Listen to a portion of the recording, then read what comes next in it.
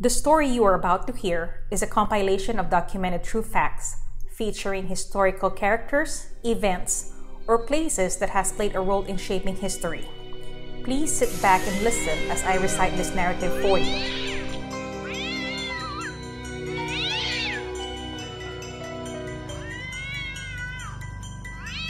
Marc Sappington, the Kansas City Vampire. He was born on February 9, 1978, and is an American serial killer convicted of murdering four acquaintances in March and April 2001 in Kansas City, Kansas. He gained notoriety for eating part of the leg of one of his victims, Alton Fred Brown. Sappington was raised by his mother, a single parent who worked hard to support herself and her son. His father had disappeared before he was even born, and they would never meet. To try and keep her son on the straight and narrow without a strong male influence, his mother insisted he attend church every Sunday.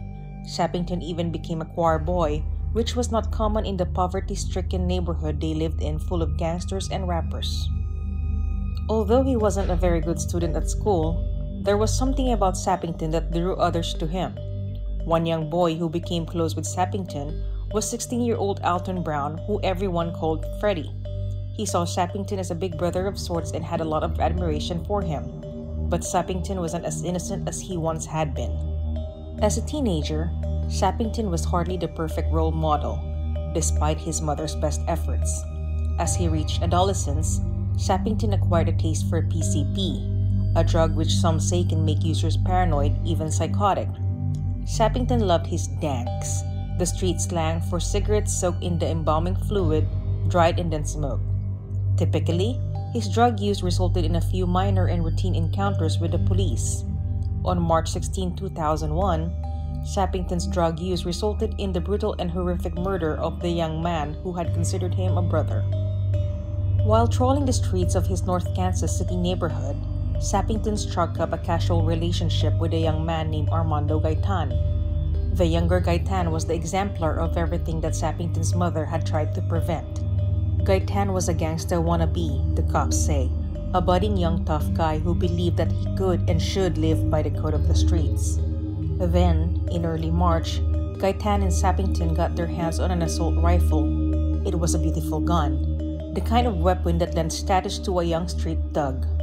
But the only way to make themselves and the rifle truly important was to use it. So they hatched a plot to pull off an armed robbery. They didn't have any particular target in mind. Lieutenant Davenport said later. They were just searching for a random target. Along with his friend Armando Gaitan, they chose David Mashak as their target and planned to walk up to him, threaten him with the gun they had, and demand all his money and jewelry. Mashak didn't hesitate to hand over everything, but for some reason, Sappington opened fire and killed him anyway. After the murder, Gaitan fled to Texas while Sappington stayed in Kansas City. Although Gaitan was arrested a short time later, he refused to tell police the shooter's identity. His next victim was a friend named Terry Green. Because they had been friends for a long time, Green wasn't surprised when Sappington arrived on his doorstep on April 7, 2001. According to Sappington, the voices in his head took over and they instructed him to lure Green down to the basement. There, he attacked him with a hunting knife so ferociously that the walls were splattered with blood. The voices then told Sappington to drink Green's blood and he obliged by lapping it up. But Sappington left the task and finished. He heard a noise and the voices told Sappington to dispose of the body immediately. Sappington could not have picked a more obvious place to dump Green's remains. Using his mother's car, Sappington crossed the river and entered Kansas City, Missouri. Sappington then drove to the edge of a parking lot at a nightclub he and Green frequented.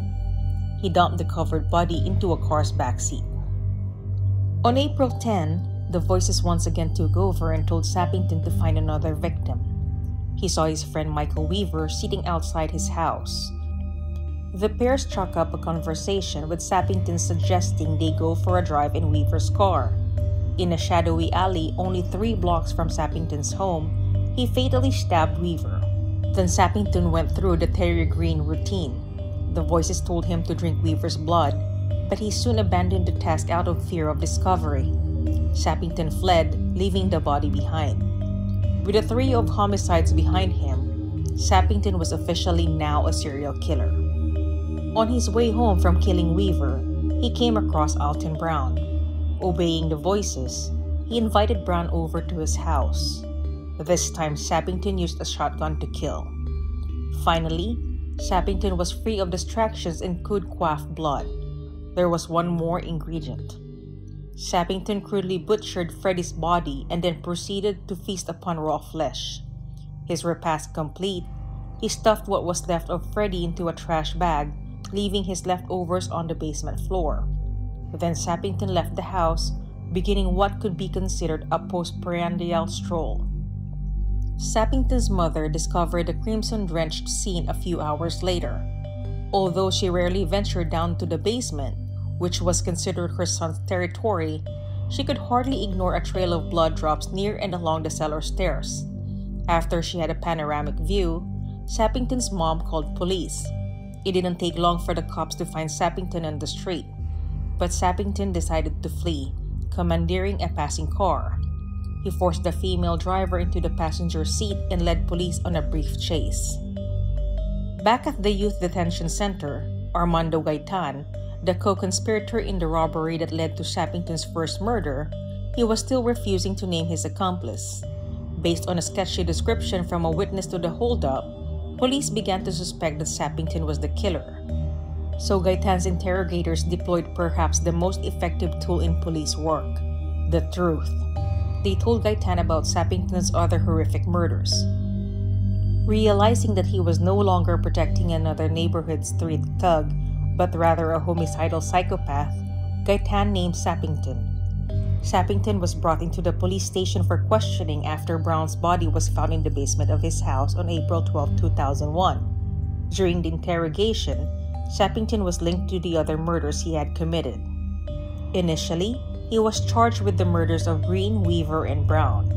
On June 23, 2004, he was found guilty despite his defense establishing Sappington had been under the influence of PCP at the time of the murders. He has undergone a battery of psychological and psychiatric tests. Although some prosecutors say privately that they doubt Sappington's story about the voices, even the most cynical observer must conclude that this defendant suffers from a severe mental illness. As a result, prosecutors have chosen not to seek the death penalty. He was sentenced to three terms of life imprisonment, as well as a 32 months for burglary and 79 months for kidnapping. He was later convicted of the robbery and murder of Mashak and received another life sentence with the possibility of parole after serving 20 years. Sappington claimed that the voices in his head were telling him that if he didn't drink the blood or eat the flesh of humans, he was going to die. Many thought this was indicative of insanity, but in actual fact, the hallucinogenic drugs he was abusing most likely caused the auditory hallucinations.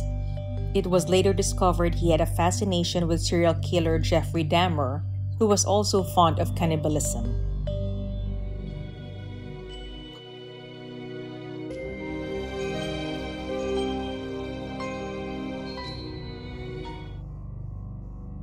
Robert Joseph Silveria Jr., also known as the Boxcar Killer, is an American serial killer currently serving double life sentences in Wyoming.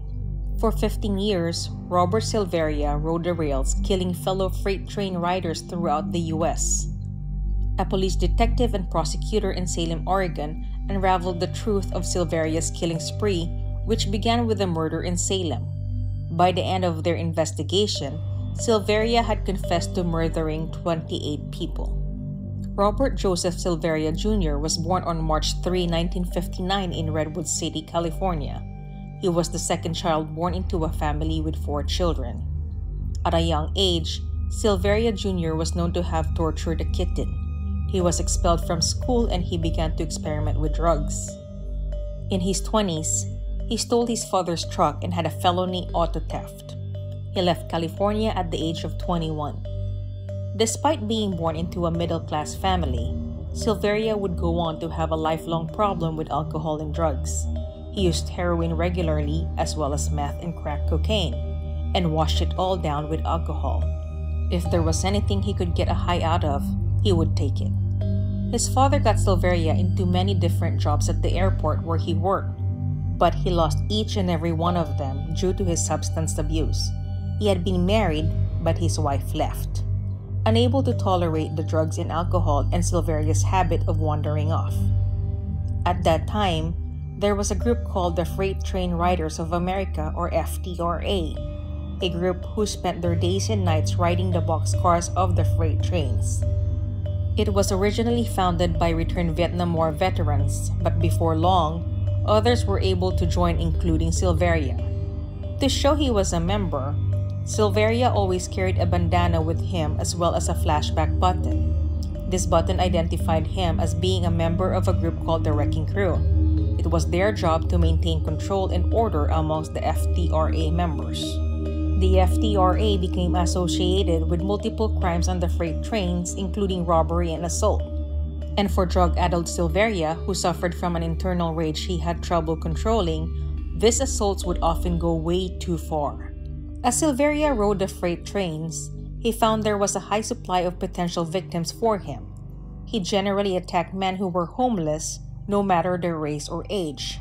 He preferred to beat his victims to death with his hands and a large stick he called a goon stick. Sometimes they were killed by metal poles or rocks, whatever was at hand at the time. Silveria didn't try to hide or dispose of the bodies after the murders. He just left them beside the railroad. Once the victim was dead, he would take their belongings, especially items he thought he could use or sell, including money and drugs. He also took the person's identification so he could collect welfare benefits and food stamps. Silveria was fully aware of a rage she had inside him, and he would start out by meeting a homeless transient, spend some time partying with them, and then create an excuse to get angry with them. Then he would beat them to death and let all the rage out. The body of Michael Seitz was found on a train in Oregon, and the detective in charge of the case was able to locate others who had been on the train at the same time. They said that the last person they saw with Seitz was sidetracked. Others referred to the man as Silveria. The detective initially thought it was two people, not realizing they were one. According to the witnesses, Silveria and Seitz had gone in search of drugs. Notices were distributed to all law enforcement agencies to try and find Sidetrack or Silveria. On March 2, 1996, Silveria was caught in California and taken into custody. In the interview room, it was discovered that Sidetrack and Silveria were the same person. Silveria claimed that God told him to surrender and he confessed to the murders of William Petit and Michael Seitz. Throughout his interrogation, he continued to confess to a number of murders he had committed. He provided drawn maps to show where each murder had taken place and gave details on each killing. This information showed that he had been a part of 14 murders at least. Silveria went on three trials for murder. He was found guilty on January 30, 1998, February 17, 1998, and May 20, 1998, of all three murder charges. Because he had agreed to a plea bargain, he received life imprisonment without the possibility of parole. In total, Silveria confessed to committing 47 murders, but police suspect he was involved in just 14. Because of the nature of the crimes and the transiency of the people killed and the perpetrator, many cases may never be solved.